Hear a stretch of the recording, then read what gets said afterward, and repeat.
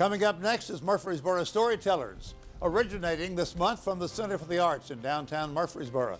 A special guest is the poet laureate from the state of Tennessee, Margaret Britton Vaughn, a native of Murfreesboro. Come on in.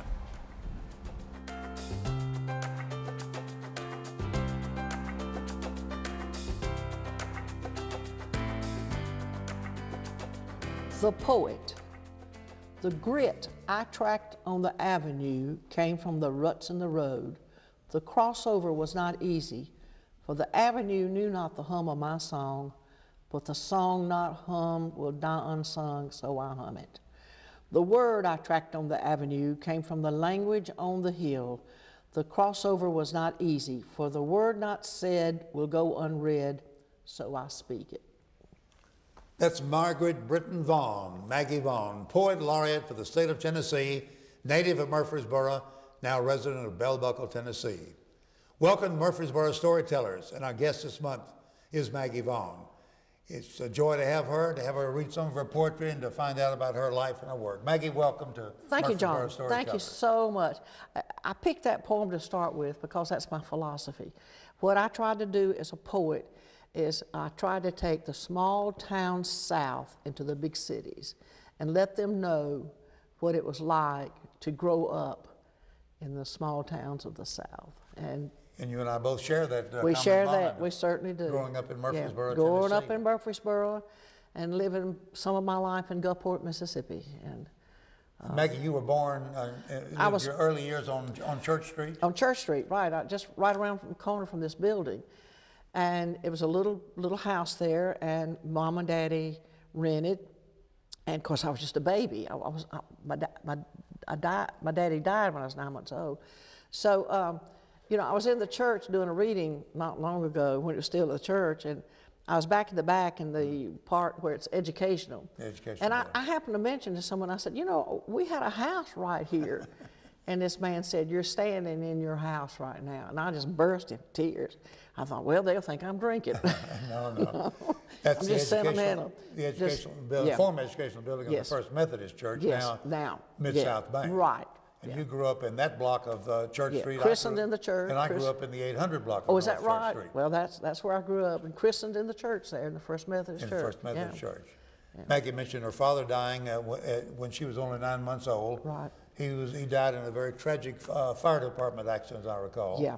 And uh, she uh, was was born here and lived here in her early years and Early years. Mm-hmm. moved later to Gulfport, Mississippi. Yeah, Gulfport. Mississippi. Yeah, my mother remarried. I see. and um, he was transferred there. He was a physical therapist at the VA, so we all went there. And uh, What was your age when you moved to Gulfport? well, I was probably around four, three and a half or four. You have some you have some oh, recollections oh, of and- Murfreesboro. oh, listen, gosh, yes. You know, uh, my brother and I, my brother's Winfred Vaughn, who now right. lives in Gallatin. Um, we have great memories. Now he stayed here for high school. I stayed in Gulfport. Mama said, "Y'all want to go to Gulf Gulfport? Stay here, or you want to go back to Murfreesboro?" And he wanted to come back, and he's stayed with a Mr. and Mrs. Sanders, who are his godparents. All right. And I stayed in Gulfport and uh, went on to college there in Mississippi. And yeah, Where did you go to college then? I went to uh, Perkinston Junior College, which is now called the Mississippi Gulf Coast College, and then to Mississippi Southern, and and uh, finished so out here at uh, MTSU because I couldn't pass biology at in Mississippi. So uh, I finally got a degree when after 25 years or something. How long have you been writing poetry? How, how did you get into writing poetry? I was writing poetry when I was a little girl. I- and I got my ear from country music. Um, I recognized what they were saying in those songs, how they could twist a phrase, and how great it was. You could see that image. And I thought, I want to do that. And so I started writing songs and country uh, in the country music field and poetry. My, I wrote my first song when I was in the third grade and showed it to Mama, showed her the paper, and it was titled, Here I Sit Alone at the Bar. Mama said, Are you sure you don't want to be a nurse? I said, No, Mama, I want to be a poet and a songwriter. And I kept that dream. I tell young people all the time, keep your dreams. And It's you so have been all your life then. all my life. And you've had some other work, the livelihood that you've done beside, Oh yeah, I was with uh, in advertising there in Gulfport with uh, with a newspaper, and they called me to work at the Tennessean and Banner for Newspaper Printing Corporation, which was owned by the Banner and Tennessean. It was their advertising department, and I was there 17 years. Fourth of July weekend came in, and I thought, this is my independence. I'd been one time in April to New York City, and I saw a world going by, and I wasn't in it. And I said, hmm. And I got up July the 4th, and I said to my boss, I'm leaving.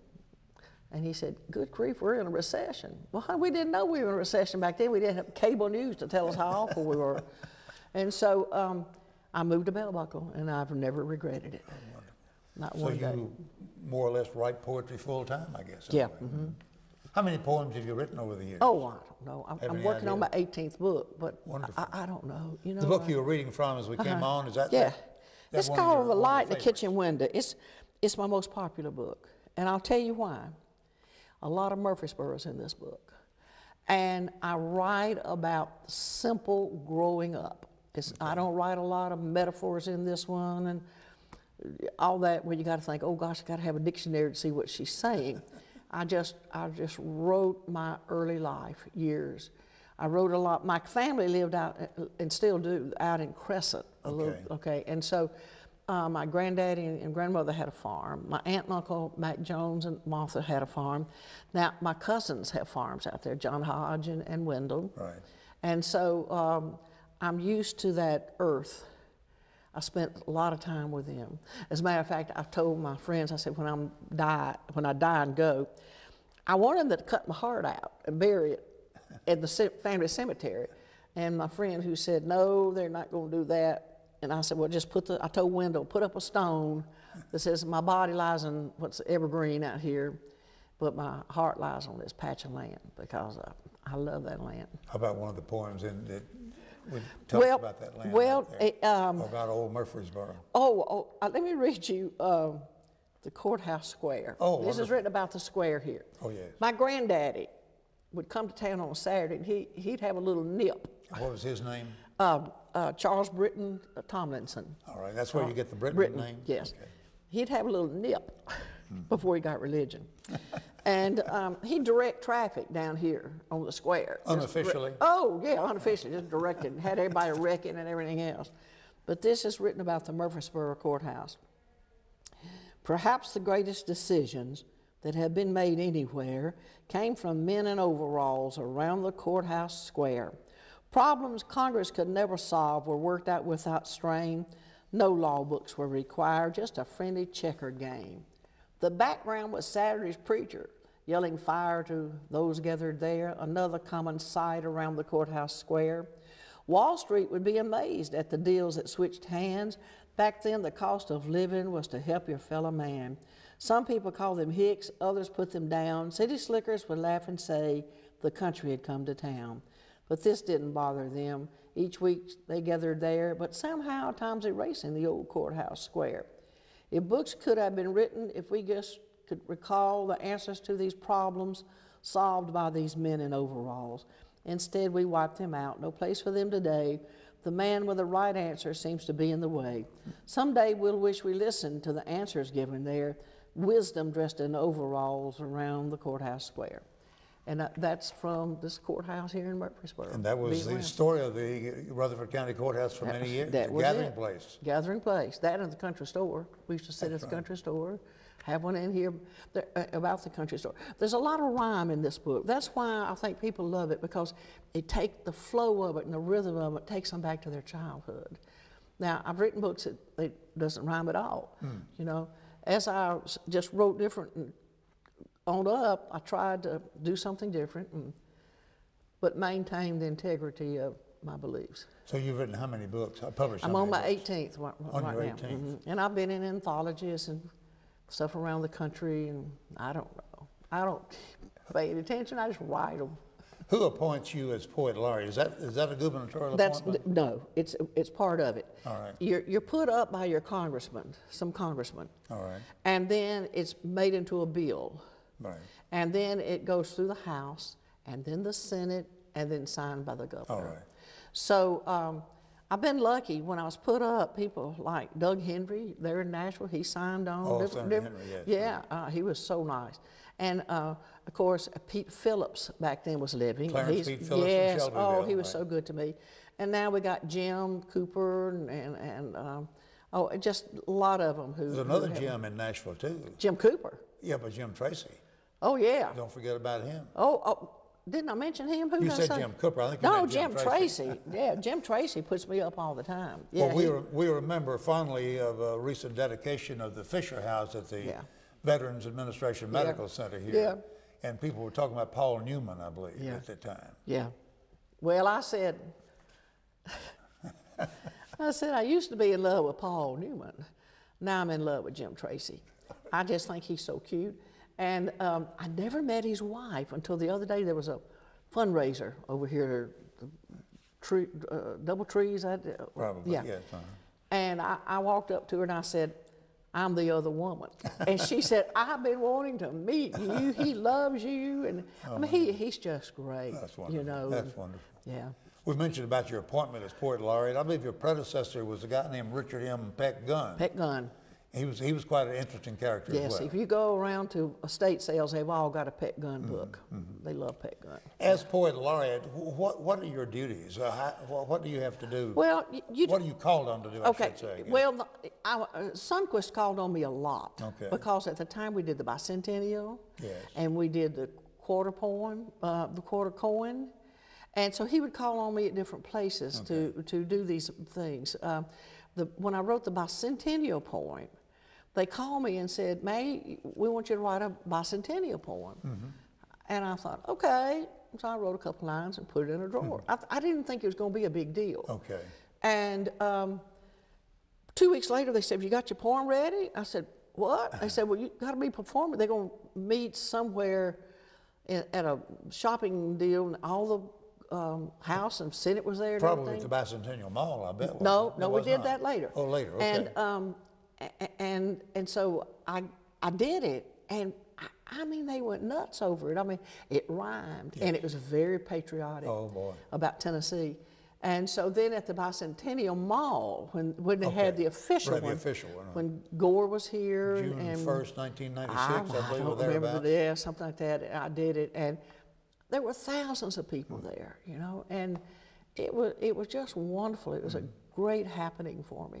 That's not in that book. is No, it? I don't have it. It's in a book that I'm out of. Okay. But I, I, I reprint these things when I get the money. By the way, if someone wants to buy any one of your books, uh, oh, just where can write, they find them? How write do they me in Murphy's uh, Bell Buckle, Maggie Vaughn, Bell Buckle, Tennessee. Will get me. Three seven zero two zero.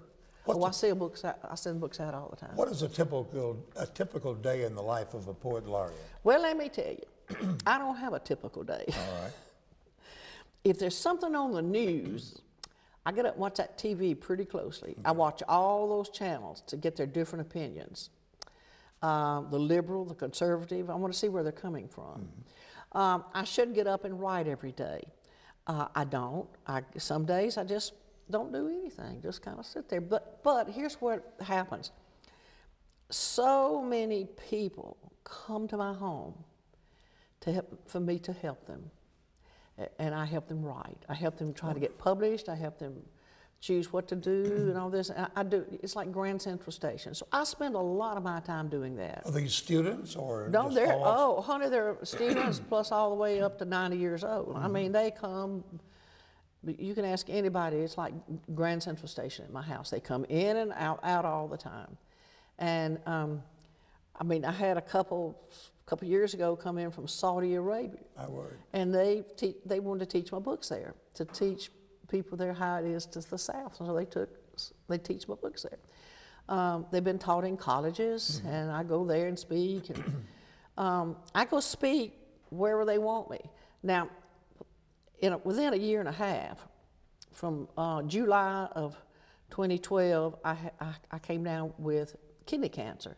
Then in 2013, I had breast cancer. So within a year and a half there, I had two cancers. My But I'm okay. Well, but I tell ladies, oh, ladies, get that mammogram. Mm-hmm. Get that mammogram, you know. Is that is that what caused it? Well, I caught, I caught, I went, I had them all these years and I skipped a year. And After I skipped a year, there it was. But it was still early, a- and, and so was the kidney. So I'm okay. Well, uh, good advice. you can't slow me down. I'll get up off the hospital bed and make a speech. Okay, I bet. If somebody wants to uh, call it a career or become a poet, if you uh-huh. will, or write, what, what would be your best advice? First of all, come to Bell Buckle and talk to you. Well, guess. come to Bell Buckle. Anybody can come to Bell Buckle. You don't become a poet. I- think you're born. you you- everybody gets a gift. Everybody. Mm-hmm. Well, It may be a politician, a poet, an artist, a teacher. You're all given something that's that burning in the belly. And so if you have that, now you learn as a poet how to develop it and uh, go on with it and everything.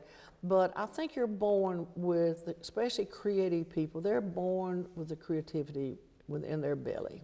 And uh, I tell people that have this and they say, oh gosh, you know, I don't know if I ought to pursue it or not. I said, well, you know, you either pursue it now or when you're 40, you'll look back and say, I'm going to pursue it now. Um, uh, you, you, you, it, it's there. It's got to come out. Do, does each state have a poet laureate? Yeah, most of them do. Do you have a gathering ever of all the Uh, poet laureates? yes, we do. Um, the first one was several years ago in New Hampshire, and I got quoted on the front page of the New York Times. Wonderful. Yeah, it was it was wonderful. Now, um, since then, we've met in Indiana and Rhode Island. Uh, I uh, brought five poet laureates to Webb School, New Hampshire, Rhode Island, uh, South Carolina, Virginia, just uh, to speak there. We, some of us stay really close and um, help each other. And, Being there in Bell Buckle, do you teach or speak regularly at Webb School? well, I go down there some, yeah. yeah when they want me, I go. Eat at the Bell Buckle Cafe from Oh, time to time? oh my Lord, honey, I have to eat at the cafe. That's our social network. Oh, I know. It's a wonderful place. And good food as well. Yeah, yeah. Oh, good. Well, read us another poem uh, about uh, good old South or Murfreesboro Um, Good old South. Um, or rural Rutherford County. How about um, uh, we used to ride the train, my brother and I did, from Gulfport to Murfreesboro and then back. That was our m- transportation. uh-huh. And this is called the old passenger train. Mm-hmm. The trains don't come through anymore with shiny engine and red caboose. I guess we got in a hurry and the old train lost its use. But I remember riding the rails when I was a small child, listening to conductors yell, next stop, as they walked the aisle. The diner was always to the rear where ladies sat in veiled hats with feather, and there was waiters in snow white jackets and shoes of black, black shining patent leather. Men chewed on fat cigars and drank liquor from fine cut glass. Food was served on a platter and fixed pretty for the upper class. Bubba and I peeped through the window, tiptoeing on small, short legs. Mama always packed a box with fried chicken and deviled eggs. The stations where we waited for the train to pull into are mostly torn down now or turned into something new. But I remember the big black boards that read on time or late, and the big clock near the seating and the porter near the gate. I miss the smell of disinfectant they used to keep the floor clean, and the big baggage wagons outside and engines letting off steam. I miss the man with the gold white gold watch chain who sat in the ticket seat. I miss the big wooden ceiling fans that kept us from the heat. I guess that's all past with the countryside. Like that, it flew by fast, leaving remnants of rusty rails to remind us of our past. and that was riding. Oh, it was. We drove that train. We loved it. I, I, if you, if I have the time, Oh, please. I'll read you my most popular poem. That's what I want to hear. Okay, it's the one everybody wants to hear, and uh, it's the one who sells this book. Okay. It- this book has sold because of this poem. It's called "Is That You, Mama?" Oh, Is that you, Mama, who just put a hand to my brow? And today, when I couldn't work things out, was that you who showed me how? Was that you, Mama, who just turned on the porch light? You always had one on to keep me safe at night. Mama, was that you by the stove cooking beans and cornbread? And was that you, dur- you during the night standing watch beside my bed? Was that you, Mama, who knocked old Bumblebee away, and you who called me in to supper when I came in from play? I know I felt you kiss my knee when I bumped it on a chair. And Mama, when I knelt to pray, was that you listening there? Or was that you, Mama? Is that you? Did God let you come home to me? Or maybe you never left. I was just too blind to see. Or was it I felt so bad today and you knew I needed you and God let you visit for just a day or two? Well, Mama, I'm okay now. You tell the Lord I said hi. But that is that you, Mama, that just kissed me bye. They oh, just tear up and run out of the room. And, Wonderful. You know, I get invited to speak to these real academic panels to the people, and I read this poem. Well, these academic poets think that's the worst poem that's ever been written. they throw up. It makes them sick. But see, time to stop and sign books. There's three in their line, and everybody else is in my line. line. And I lean over and I say, if you write something about your mama, you might sell a few books. So that's what I tell them. That's that, and then the counting on Sunday, where I counted everything in church because I was bored. That's another one that. Is that in this book? That's in this one too. Let's yeah. hear that one then. But do I have time? Oh, yeah. Okay. Th- this is the good part of the program, having you read your poems. Oh Lord, honey, I see now. Uh, well, Lord, gotta find it. Here it is. You just a joy to be You around. know, huh? no, no matter, no matter where you go to church, it's not normal if you don't get bored. You know, you At just some get. point in time. huh? Uh, yeah, and most of the time I'm bored all the time. but years ago I wrote this. It's called "Counting on Sunday." Okay. He didn't have his heart in his sermon. If he did, it didn't show up in any enthusiasm in his voice. And I didn't have my restless soul in church. If I did, I wouldn't have counted the 823 bricks on the wall outside of one of the 48 window panes behind the 16 white shutters that helped shade the sunlight off of 11 crosses two brass, four on cloth, one on a plaque that's nailed to the rail that leads to the wooden one that's carved on the altar just left of the wooden one that holds the page numbers that face the one on the concrete on, uh, in concrete on the baptismal font that stands beside the organist who is married to the preacher who has a silver one hanging around his neck. As he speaks to 10 women, 8 men, and 4 children who sit in 21 pews and hold 161 hymn books under 78 electric candles that shine on five doorknobs, two flags that stand over 11 eyeglasses, eyeglasses, two, seven necklaces, two flower arrangements, one hair bow, one bow tie, one silver beret, and a sermon in a pear tree. And I counted every one of those things in that church Where was this church? uh, in Shelbyville. In Shelbyville? Yeah, I yeah. figured that must be an the actual church. Episcopal Church, and Okay, you know, I was born into. Um, um, well, I, I was christened in the, Meth, the Methodist Church, but my family was mostly, except Mama, was Church of Christ. Um, but they had me too, too many rules, so I became a Methodist full time. then I became Episcopalian. They have not a lot of rules at all. But I've gone back to my Methodist roots. But, Okay. but church have gotten so crazy. Sometimes I, I have a whole book called "You Laughing Ain't You God" behind nutty churches get. You go here, they can't do this. You can do that. And you go here, they got a new set of rules. They? I just I'm tired of it. Okay, Not going to listen good. to it. What advice would you give to a young person then that, that wants to get into your field, I'll call it? Keep on writing. Just keep on writing. keep on writing and get with people who write. Get with people who are already established poets who can give you good advice. Um, take some classes if you can. However, so many classes are taught by t- the teachers who are just like maybe English teachers. Mm-hmm. And they're looking for punctuation and grammar. They're not looking for that image. It's image, image, image. Make me see something when you read mm-hmm. me a poem. Mm-hmm. Make me see all those things in that church. You know. And I just did Yeah, everything yeah, you've yeah, read. right. You, you see it, see, and just keep on doing it and hone your craft. Just and and you just keep doing it. Tell me about your friendship with Loretta Lynn. Oh, I met Loretta Lynn when she first came to um, Nashville. I was working with a paper, and um, no, no, I went a year there before I worked for the paper to write, and I signed on with the Wilburn Brothers, Surefire Music, Okay. as a staff writer, and they said, you know.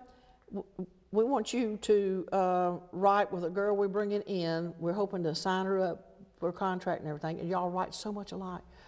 And they said it's Loretta Lynn. And I said, oh, I'm, she's got a hit song out. Well, that Saturday night, backstage to Ryman, I met her. And we became close.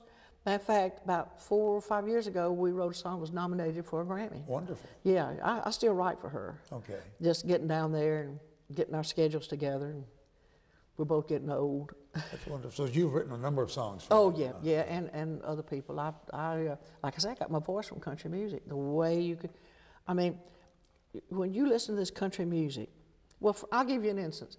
Hank Williams said, "Did you ever see a, uh, uh, well, a robin weep when leaves begin to fall? Man, you see that robin and that leaves." And Barbara Mandrell did a song about um, the man. Her husband said, "You must think my home's a bus stop with a where you come and go. Haven't seen you three nights in a row." But there's a line in there where she's talking about, and she says, "I won't lay Mama Silver for a man who won't say grace." Well, you know, a lot of us don't say grace anymore, but we grew up in a family that said grace, and you just see that silver on the table that they got out on special Sundays and stuff. The, the, that it was handed down.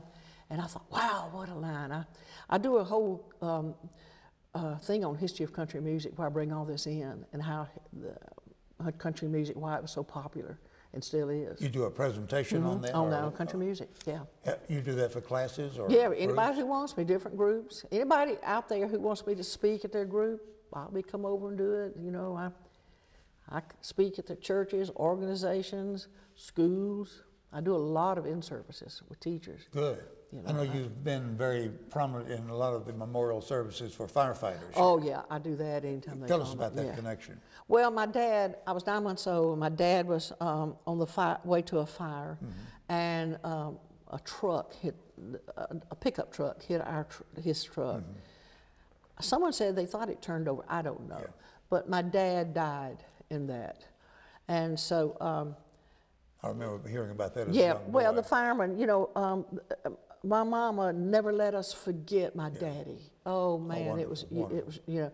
Now a lot of times she'd say, "Oh, you're hard headed just like your daddy," but she, I mean, it, he was there in our lives the whole Mm-hmm. time, and you know, something real tender happened uh, the last time I spoke.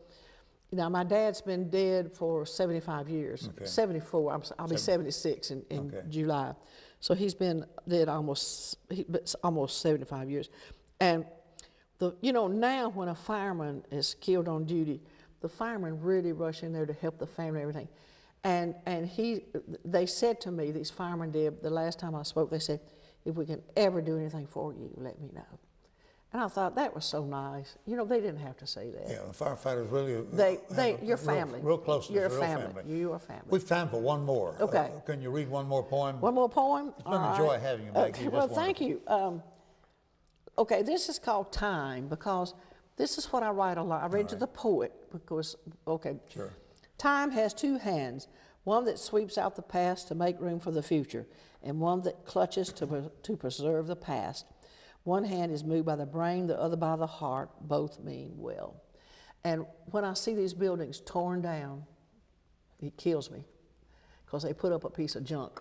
Sometimes that happens. Yeah. Maggie, it's been wonderful having Thank you. you, thank guest. you, John. Please have me Thank- back. Oh, we will. Come to Bell Buckle. Our special guest has been Margaret Britton Vaughn, Maggie Vaughn, Poet Laureate of the state of Tennessee, and our program has been originating from the Murfreesboro, Rutherford County Center for the Arts, formerly Linebaugh Library, and originally, as of 1909, the United States Post Office. Thank you for joining us for Murfreesboro Storytellers. Bye.